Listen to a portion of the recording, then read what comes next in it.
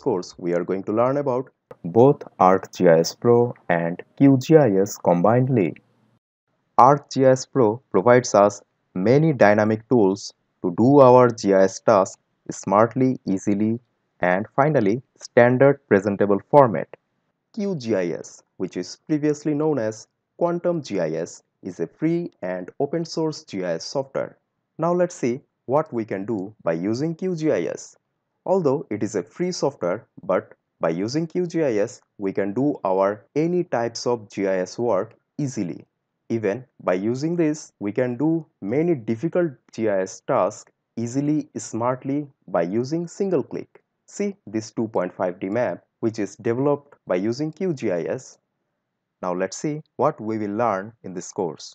If you don't have ArcGIS Pro software, then don't worry. In this course, we will learn how to get ArcGIS Pro software free for 23 days and how to install this in detail step-by-step -step process. Not only that, we will learn how to get QGIS software, how to install QGIS step-by-step -step process. We are going to learn user interface of ArcGIS Pro and user interface of QGIS in detail Map browsing toolbar including Attributes toolbar and Map navigation toolbar.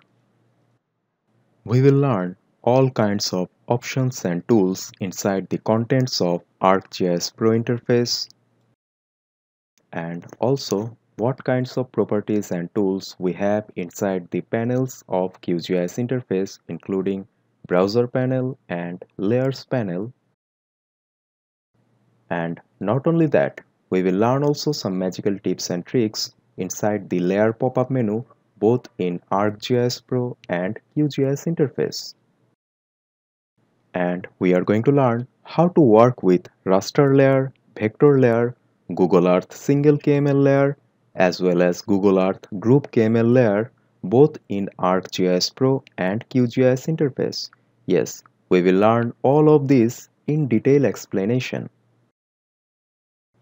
we are going to learn how to create shapefile and another types of layers. Even we will learn also how to create layer groups which is very useful for any kind of GIS task. And not only that, there are many magical tips and tricks are waiting for you in this course which you can use both in ArcGIS Pro and QGIS.